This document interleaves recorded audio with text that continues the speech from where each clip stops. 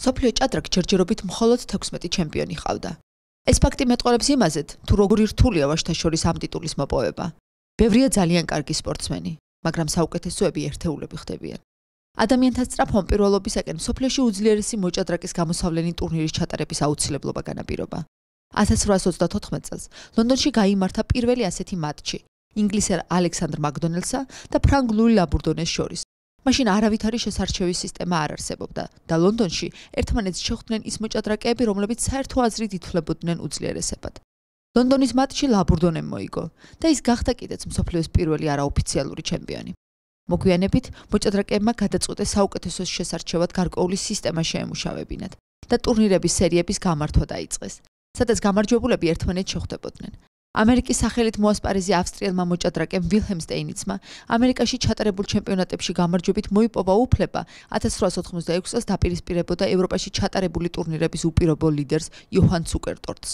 მატჩი სტეინიცის გამარჯვებით დასრულდა და მიენიჭა კიდეც პირველი მსოფლიო ჩემპიონის სტატუსი. ამით დაიწყო მსოფლიოს ოფიციალური პირველობების გათამაშება. თუმცა პრეტენდენტთა ტურნირების ჩატარებამდე ჯერ კიდევ დიდი გზა იყო გასავლელი. რადგან კანდიდატის შერჩევა მაინც მოქმედი ჩემპიონების პრეროგატივა იყო. თავიდან ისტორია ისე იყო, რომ სოფლიო ჩემპიონატი იმართებოდა სოფლიო ჩემპიონის სურვილის მიხედვით, ფაქტიურად ის ირჩევდა პრეტენდენტს, ან ფინანსური ინტერესიდან გამომდინარე, ის უსახელებდა პრეტენდენტს იმ პირობებს, რა პირობებთან დააკმაყოფილებდნენ პრეტენდენტს. თუმცა მაშინ შემდეგ რაც ფიდე შეიქმნა, იყო მცდელობები, რომ ეს რაღაც წესრიგი ყოფილიყო ამ კუთხით. მაშინ შემდეგ რაც მეორე სოფლიო ომი დამთავრდა და გარდაიცვალა ერთ-ერთი ყველაზე დიდი სოფლიო ჩემპიონი ალექსანდრ ალიოხინი, უკვე ფიდემ აიყო თავის ხელში ამ ღონისძიების ორგანიზება და პირველი ცდელობა იყო რომ 58 წელს, რადგანაც უკვე აღარ არსებობდა სოფლიო ჩემპიონი, ჩაატარა ხუთი საუკეთესო დიდოსტატ შორის მატჩ ტურნირი და რომელიც რომელშიც გამარჯვა ძალიან დამაჯერებლად მიხეილ ბოტინიკმა და ის გახდა სოფლიო ჩემპიონი. ფიდემ პრეტენდენტობის შანსი ყველა წარმატებულ მოჭადრაკეს მისცა.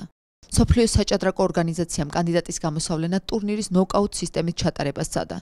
თუმცა ამან მოჭადრაკეების დიდი ნაწილის უკმაყოფილება გამოიწვია. თვლიდნენ, რომ ასეთ დრო შემთხვევითობას დიდი ადგილი ჰქონდა. განვითარებისათვის ეს და კლასიკური ჭადრაკის მოყოლთათვის ეს იყო ცოტა მიუღებელი, მაგრამ იმისაც რომ მეტი მასები ჩართულიყო ამ ორთაბრძოლაში, ეს მოჭადრაკეებისათვის საინტერესო აღმოჩნდა, რადგანაც ფაქტურად ესაც დაიწყო ნოკაუტ სისტემით.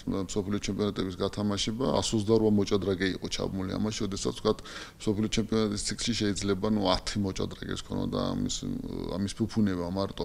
საბოლოოდ შეირჩა კანდიდატთა ტურნირის ისეთი სახე როგორიც დღეს გვხვდება მთელი რიგი ტურნირების სერიიდან, სადაც მსოფლიოს საუკეთესო მოჭადრაკეებს შეუძლიათ მიიღონ მონაწილეობა, ირჩევა მხოლოდ 8. პრეზიდენტ ტურნირში შერჩევა ხდება პირველ რიგში ამ მსოფლიო თასიდან, რომელიც ახლა მიმდინარეობს, ორი საუკეთესო მოჭადრაკე, ანუ ფინალისტები მოიპოვებენ ადგილს პრეზიდენტ ტურნირში.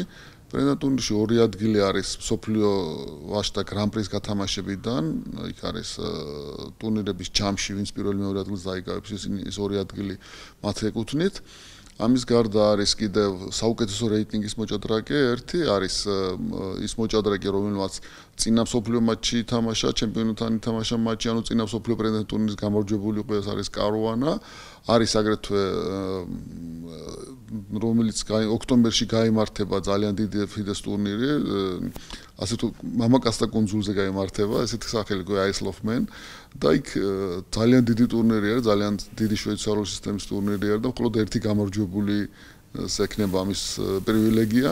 სხვა შორის ორი ქართველი თამაშობს. ერთი არის ფედერაციის წევრი ჩაპარინო მეორე არის ბაადურჯობა რომელიც სპეციალურად მიიწვიეს და ძალიან გახარებული ვართ ამით და ამ ორ მოჭადრაკეს ექნება შანსი იბრძოლოს ამ სანუგარი ადგილისათვის და ერთი არის ვაილკარტი ესე ქვია, რომელიც არის ორგანიზატორის ნომინაცია, ორგანიზატორ შეუძლია დაასახელოს ერთი მოჭადრაკე, მაგრამ არის სპეციალური შეზღუდვა, მას არ შეუძლია ნებისმიერი მოჭადრაკის დასახელება.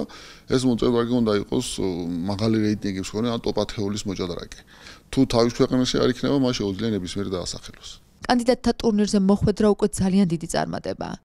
ეს ნიშნავს, რომ გადალახი უამრავი დაბრკოლება, დაამარცხე გამოცდილი და ნიჭიერი სპორტსმენები, იყავი უფრო მტკიცე ხასიათის და მყარი ნერვების და ამავე დროს ჰქონდა უზღვავი ენერგია, რომელიც აუცილებლად დაგჭირდება კანდიდატთა ტურნირში მონაწილეობისას. ტურნირში თამაშის წესებიც საკმაოდ მკაცრია. მონაწილეებს დაზავება არ შეუძლიათ, სანამ შავები არ გააკეთებენ მე-40 წესლას. დროის კონტროლი სხვა ტურნირებთან შედარებით ხანგრძლივია. მოთამაშეებს ეძლევათ 100 წუთი 40 სულის გასაკეთებლად, 50 წუთი მომდევნო 20 სულაზე და 15 წუთი დარჩენილი პარტიის დასასრულებლად. ამავე დროს, ყოველი სულის გაკეთების შემდეგ 30 წამი ემატებათ.